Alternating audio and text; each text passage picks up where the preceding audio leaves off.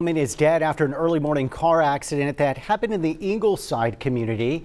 And the crash occurred just after 1 a.m. along Highway 1069.